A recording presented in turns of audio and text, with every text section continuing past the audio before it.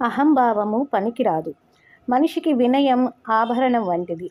తనలోని సుగుణాలను తానే గొప్పగా చెప్పుకోవటం గర్వానికి చిహ్నం. ఒక మనిషి నిజాయితీపరుడు మంచివాడు గొప్పవాడు కావచ్చు.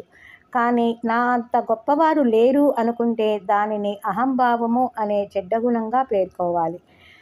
కడివెడు పాలలో పడిన విషం చుక్కలా ఈ అహంభావము మనిషి పతనానికి కారణం అవుతుంది. లోకంలో చాలామంది తప్పులు పాపాలు చేస్తారు. వాటిని సరిదిద్ది క్షమించి మంచి దారిలో పెట్టడం బాబా భక్తులుగా మన బాధ్యత. అలా కాక వారిని దూరంగా పెట్టి దుర్భాషలాడితే అంతకన్నా పాపం మరొకటి లేదు.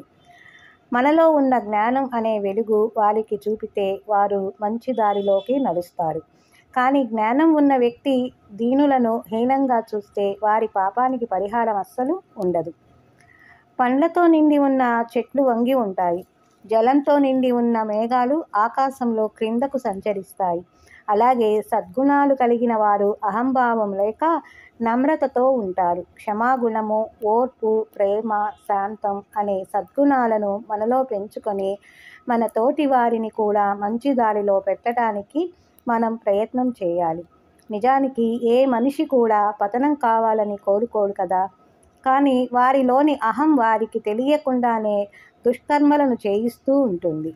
అందుకే పైనున్న వారు జారిపోతున్న వారిని చేయి పట్టి పైకి లాగాలని అలా చేసిన వారు భగవంతుడు వారిని చెయ్యి పట్టి పైకి లాగి తన చరణాల వద్ద శాశ్వతమైన స్థానము అనుగ్రహిస్తాడు. అహంభావము పనికిరాదు. మనిషికి వినయం ఆభరణం వంటిది. తనలోని సుగుణాలు